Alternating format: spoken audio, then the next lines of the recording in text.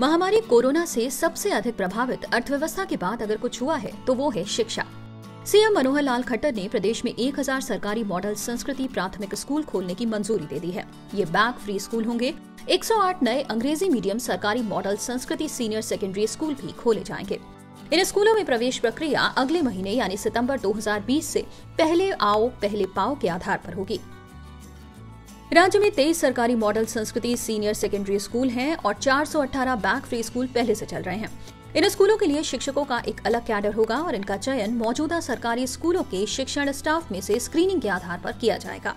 इन स्कूलों के लिए शिक्षकों की एक अलग स्थानांतरण नीति तैयार की जाएगी। प्रदेश सरकार सस्ती दरों पर शिक्षा प्रदान कर रही है। एक से पांचवी कक्षा के छात्रों से पाँच सौ का एक बार प्रवेश शुल्क लिया जाएगा। छठवीं से बारहवीं तक की कक्षाओं के लिए ये शुल्क एक हज़ार रूपए होगा।